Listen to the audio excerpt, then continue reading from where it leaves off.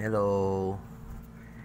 Eh, newbie lang ako dito sa post-crossing na hobby na to. Eh, gusto ko lang i-share yung kung ano yung nalalaman ko para maka-invite din ng maraming mga newbie na sumali dito sa post-crossing na hobby. Itong post-crossing, related yan sa stamp collecting. Postcard na pwedeng kahit anong size, pwedeng gawan. Like ito, malalaking postcard. Yan, malaki. Saka yung mga ganitong maliliit pwede iba-ibang size pwede mong gawin yun ang maganda sa sa ano sa pag-collect ng postcard. Iba-ibang design iba-ibang size at uh, hindi na kailangan ng approval. Wala ng mga stamp committee. Yan to bigay ng mga friends sa PCPH ito mga hindi pa nagamit. Maraming klaseng postcard na magaganda. Parang stamp din na may mga painting. Tapos uh, galing iba-ibang bansa.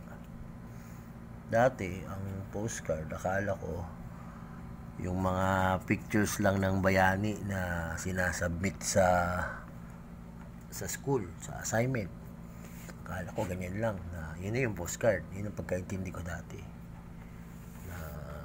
May pictures lang. Hindi ko alam na pwede pala iba-ibang klaseng design depende sa country depende sa mga tourist spot iba-ibang pictures oh. nakakatawa hmm. ang design pwedeng kunin sa internet pwedeng pwedeng kayo mag-drawing pagsulat nalagay mo yung stamp dito. Address, date saka yung message mo saka pirmahan mo. Papadala mo na. Postcard na yan. Mag-antay ka lang mga dalawang linggo pataas. Depende sa layo ng bansa. Minsan isang buwan. Konti lang postcard ko. Uh, hindi gaya kagaya ng mga friends ko sa PCPH na napakaraming postcard. Ito mga bigay lang. Ito galing Malaysia to.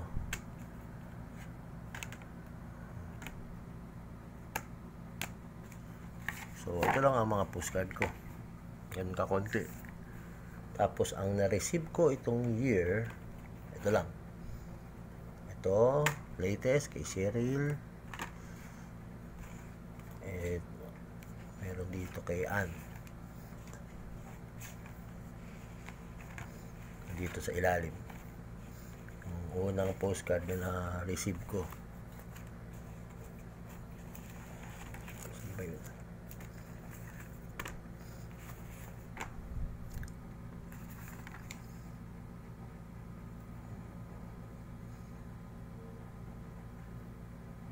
yan. Ito kay Mark post closing group sa PCPH kung gusto nyo mag magkaroon ng maraming postcard sali lang kayo sa PCPH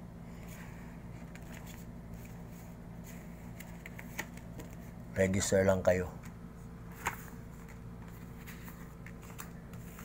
Ay. So itong tatlo nakuha ako sa PCPH tatlo. Isa kay Mark. Ito kay Ann. Saka ito kay Cheryl. Tatlo pa lang. Sa mga friends ko na taga PCPH sendan mo naman ako. Ang kagandahan dito sa post crossing eh, digital siya. Pwede kang mag-register. Tapos after mo fill upan at na-register mo na makakakuha ka na ng mga postcard. Merong dito sa post crossing, saka dito sa Facebook groups. Meron din kaming chat room dito sa GC. Kaya masaya. Hindi ka maboboring. Pwede sa cellphone, pwede sa computer. Ayun ang masaya dito. Tapos, pwede ka pang mag-design ng sarili mo gamit ang uh, chip. Yung chip na ano na mabibili sa Shopee, yung mga uh, craft paper, tapos yan, dudrawingan mo ng ganyan. Ako na bahala, dumiskarte sa pag-paint. Yun ang maganda dyan. Ah, pakita ko sa'yo kung paano mag-drawing kahit lapis, pwede. Basta may blanco kang papel, pwede mo isend.